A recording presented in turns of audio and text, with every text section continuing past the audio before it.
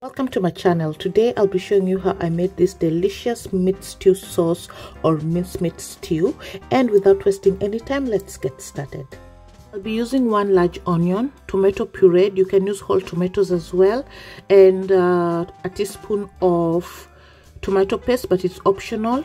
Coriander leaves and spices. I'm using a teaspoon paprika a teaspoon garam masala teaspoon cumin three bay leaves oregano a teaspoon half a teaspoon black pepper green bell peppers a teaspoon of garlic and half a teaspoon of ginger and of course my minced meat.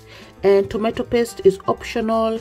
Oregano is optional as well but i love it especially when i'm having my minced sauce with spaghetti and bay leaves add such a beautiful flavor so it's optional if you do not have it. And sometimes i add some royco to my beef or sometimes i add some beef cubes so you can always play around with your favorite spices. So add in your meat to your pot sufuria or pan and sweat the mince. So i added a little bit of salt to flavor the meat as it cooks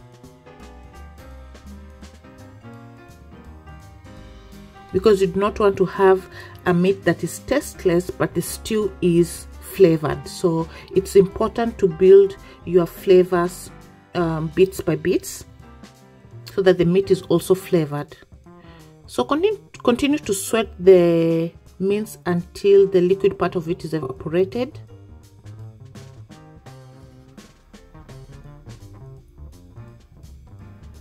As you can see I've remained with the oil in it. So i'm not going to add any oil to it but if you have dry mince then you can add a little bit of oil.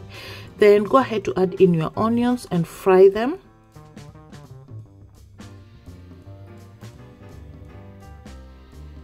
Then add in the garlic and ginger paste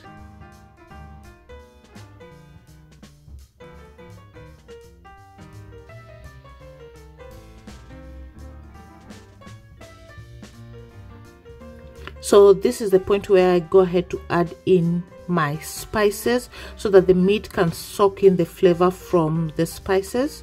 Remember the bay leaves you will take them out once your stew is uh, cooked. So just stir that and let it cook and soak all that beautiful flavor. Remember you can add some royco or beef cubes if you want to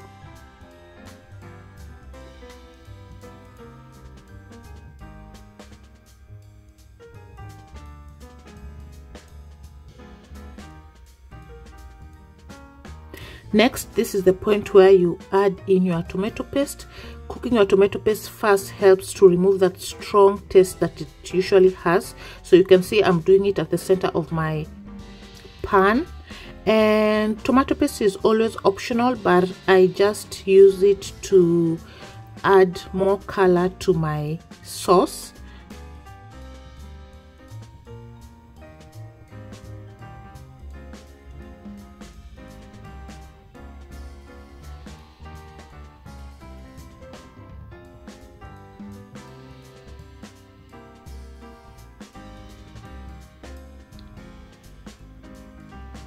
now that the tomato paste is done i'm going to add in my green bell peppers.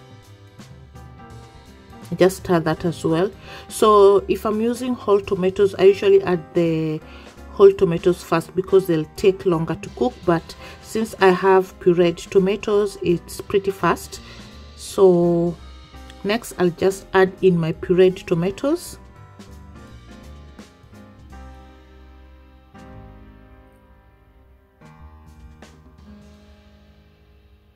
and just mix that.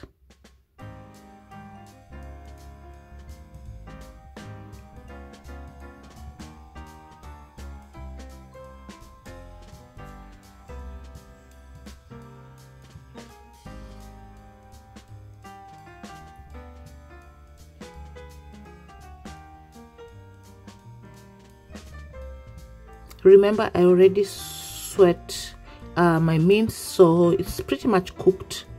So next i'm going to add a little bit of water to my minced meat. For the stew and of course for the meat and the spices to cook really well.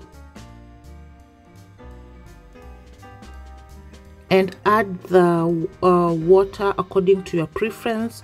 I do not like runny stew. So i just added a little bit of water to it.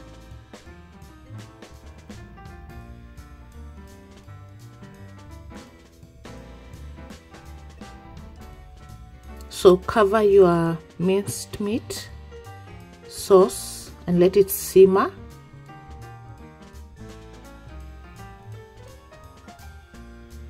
Keep stirring and at this point you can check if your stew is um, has enough salt. So if it's not salt enough you can add some. But since I added some on my meat it was enough so I did not add any salt.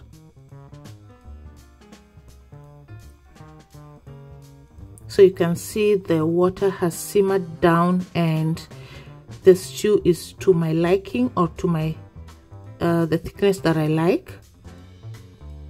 It's not too watery and it's not too thick. Finally add your coriander.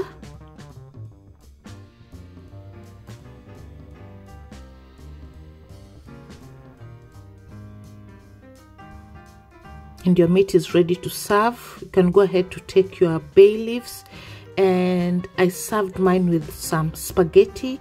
You can have it with some rice. I usually enjoy it with some chapati and cabbage as well. So you can always have it with uh, what you prefer. And there you have it. You can see how colorful it is. It tastes so delicious and this aroma is just amazing. I really hope you did enjoy this recipe. If you liked it, please give it a thumbs up. Subscribe to my channel as well if you haven't. And I will see you on my next one. Till next time, bye-bye.